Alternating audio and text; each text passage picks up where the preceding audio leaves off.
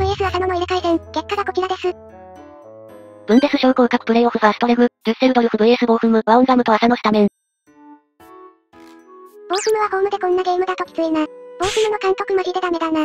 ボーフムがボール持ってるとき先場がライン上げなさすぎるから中盤間延びすっかすかや。浅野今までブンデス一部で波乱を起こしてくれてありがとう。二部でも頑張れよ。デュッセルドルフ昇格勝ちであるなこれは、田中を頑張れ。田中を昇格しそうだいいプレイしてる。ワオンガムはワールドカップでロドリを倒した男なんだ。田中をすごいな。お世辞でもなんでもなくデュッセルドルフの中心選手だな。ワオンガムとアペル幹部が一部でプレイする姿も見たいけど、浅野がガミブ駅なるのは見たくないな。二分岐が決まったら浅野は広島戻ってくる予感。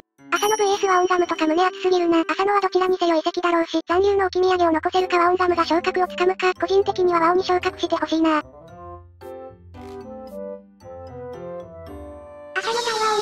離せない。